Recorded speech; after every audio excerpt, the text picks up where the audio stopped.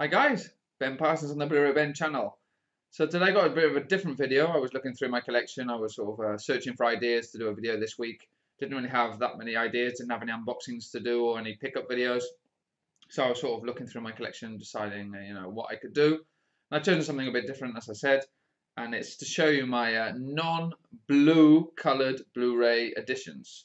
I don't have many, so I'm just going to go through them. And of course, I would like you to also show me your editions that you've got your Blu-ray MRA uh, films that you don't have in blue Blu-ray cases, if you can understand what I'm trying to say. So yeah, I'm going to get started off straight away with you know the, the transparent clear ones. Sorry about my voice, I got a bit of a cough today. And The first one is Black Swan. I think it looks really, really good because the the front image, is, you know, it's all white and sort of grey, and it goes really, really well with the, the clear case. So yeah, it just look, looks really nice there. If you can if I open it up, you can see the discs also white. So it goes really nice with the clear case. So I'm really happy to have this one in my collections, Black Swan, which is a really good film. The next one is a really good uh, Japanese film, which is uh, Battle Royale, and this is actually the Arrow video version. So you can actually change the the artwork on this, the the paper cover, and yeah, once again, looks really nice in the clear case. I open this up. Uh, I'll actually take out the booklet so you can see if you actually change the artwork round because the artwork is quite white it actually goes really well the clear case with that cover. I've actually chosen this cover because I, I like it like it more but it's all white so it does look really nice and captivating with this transparent or clear Blu-ray case.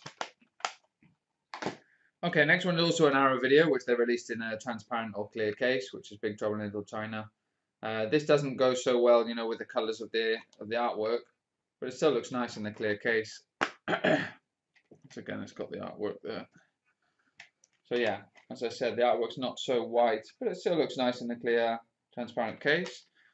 So yeah, Arrow always give uh, you know do really good releases with extras and uh, you know so such good artwork and also with clear cases, which I like. And my last uh, clear case is an, not an Arrow video, it's an Arrow Academy, but I think it's a, more or less a similar company. And it's Cinema Paradiso. I picked this up recently. And uh, looks really nice also in the clear case. Just sort of makes it stand out on the shelf. You know, and that with a clear case. So yeah, I really do like these clear case ones. I've only got four in my collection, but they, as I say, they do stand out. Now I'm going to come into the black ones, which I really like. I just, I don't know why I like them so much, but they look really, really cool. And the first one I got here is Bone Tomahawk, which is a great film. You can see here in the black, black case. Oh, I just think they look amazing. You know, all black throughout.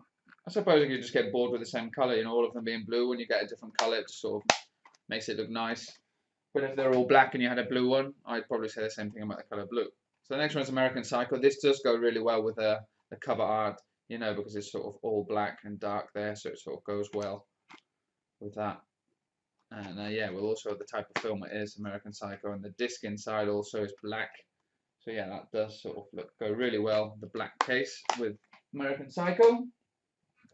Okay, the next one is a John Carpenter film, once again, like Big, Big Trouble in Little China, but this time it's Assault on Precinct 13. And once again, it goes really well with the cover art, you know, with the dark cover art sort of blends in really nicely can see that there. So definitely better than blue. And once again, the disc is black. So yeah, it also goes together. I just think it makes it look that much better. And my last black one is uh, the gift. so yeah, once again with the black case.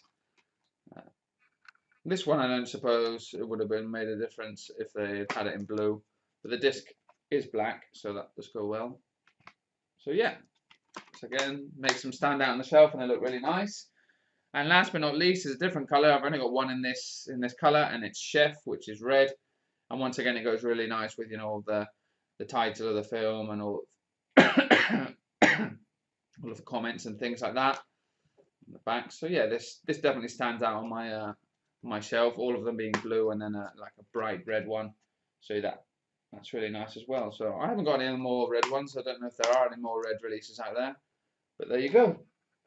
So yeah, only nine uh, nine movies. But there you go, and they're different sort of coloured uh, black, red, and transparent or clear cases. And uh, really, it's something just to just a different to talk about. So I would love to see uh, your sort of movie collections in different color cases and see what editions you've got, and maybe I'll end up picking some of them up because I do really like you know a bit of variety in my movie collection, not all just being all blue. So there you go, different type of video. Hope you enjoyed it.